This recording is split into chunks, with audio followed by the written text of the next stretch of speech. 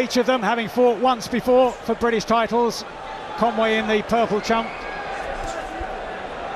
for the British super welterweight title against Ted Cheeseman back in 2019. That finished in a draw.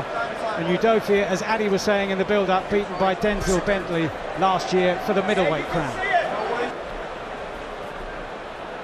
And his dad in the corner, Bill, saying, stay on the front foot and don't allow Udofia to grow in confidence. Yeah, I mean, it's great advice what his dad gave him there. Um, lovely right hand as well there by um, Conway. I mean, he's just starting to grow in confidence himself by the looks of things now, and um, he's having a better start to the second round than he did the first. Speaking of Conway, in the week as well, he was saying against Cissokho and Ammo Williams, he just held a little back. I think he showed too much respect and fought a guy called Gregory Trenel and in that fight where he was levels above, he just went out there and expressed himself and done his own thing and I feel he feels he has to do more. Just go in there and, and do your own work and I feel like he's doing that in this contest. He's on the front foot yeah, he's double saying he wants the rematch uh, with Ammo Williams. He was disappointed in his performance. Um, and he feels like he didn't give everything he could have in the camp, and uh, he feels like he's got the beating of him. But it's a, a brilliant start from uh, Conway here, the first couple of rounds. First time I've just seen Udofia try and creep on the front foot be wary of that right hand of Conway. If you're going to keep it low, you've got to have razor sharp reactions. I think Udofia needs to punch with Conway as he's letting his punches go to have a little bit more success in this fight. Nice jab again there from Conway. He adjusted well, Conway. Lovely right yeah, again. Good one too. In low scoring rounds, those sorts of punches are crucial. They could be the difference, Mike. Exactly. But it's a good response from Conway. A nice start to the round from Udofia. He's come back. Conway pushing Udofia around again.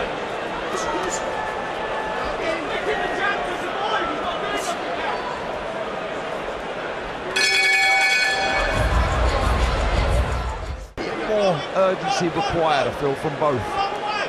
You know, in the distance Conway's boxing at at the moment it's pretty hard for Udofia to catch him with that right hand. He's just chipping off now and, and stepping off to his right, away from that right hand now, and letting his own right hand go there. Um, I think, like I say, he needs to push him back now to start having success with, the, with his own shots, Udofia. I think he's just getting, you know, put on the back foot a little bit too much here. And it's always a fact. You know, a fighter might recognise this in round seven and round eight, but you might be four or five rounds down when you do recognise it. So that's the time you've got to start taking chances.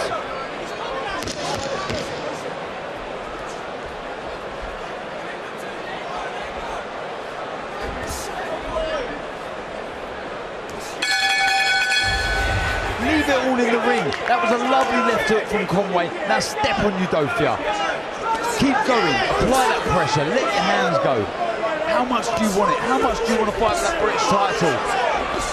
This is good work from Conway. Udofia, this coming back with his own right hand there. Um, Conway at the minute for me is boxing absolutely class.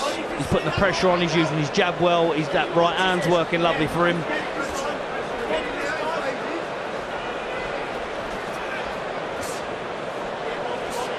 Got the experience, Conway, of those big Canelo Alvarez undercards. Boxed twice on them, but each time he lost, went in as second favourite against Ammo Williams as he lands another oh. lovely right hand. Good response from Udofia. And second favourite also against the French-African Souleymane Cissokho. But those fights, as he was telling Darren earlier this week, are fights that he believes he should have and could have won. Can't leave regrets in here tonight with a tilt at the British title at stake. Exactly that. Get back in that change room knowing you've done win, lose or draw, that you've given everything. No regrets this time. So much on the line. Udofia now just needs to take these chances now. He's going to get the doctor to look at his eye, I think. Yeah, they've had 60 seconds to work on it in the corner with a pack of ice, but that looks like that has pretty much Over. closed. And referee Howard Foster decides that that is enough. That Udofia cannot continue with that kind of injury. So Kieron Conway has broken through. tonight leaving with no regrets against Ammo Williams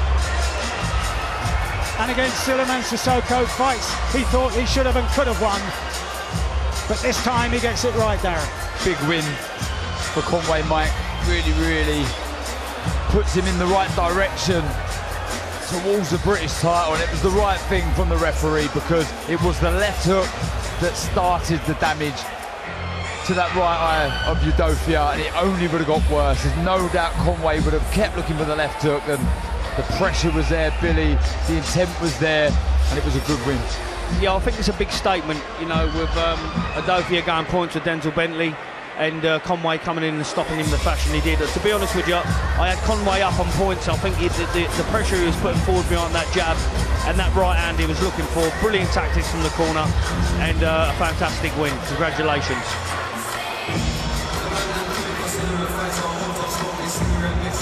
I think it would have been a fight I would have liked the Sin to go into seven, eight, nine, ten rounds. I think we would have been really in for a bit of entertainment, but you know he can't carry on like that. It's just he can't do that.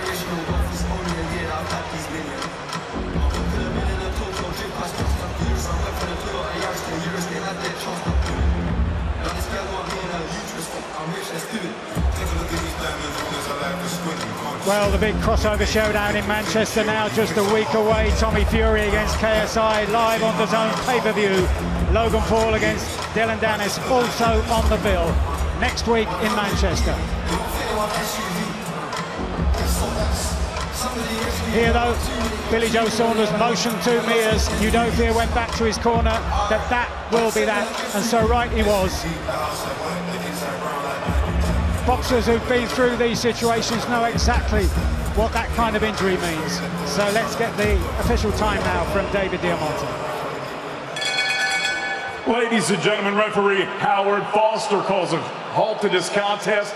The official time of the stoppage, two seconds of round number six, declaring a winner by TKO and the new WBA Intercontinental Middleweight Champion, Kieron Two Class Conway. So he's used the experience of big fight undercards to get it right this time. No regrets tonight. Kieron Conway wins the final eliminator for the British middleweight title and he'll get a second tilt at British title success after going so close against Ted Cheeseman four years ago. Another chance for Kieron Conway.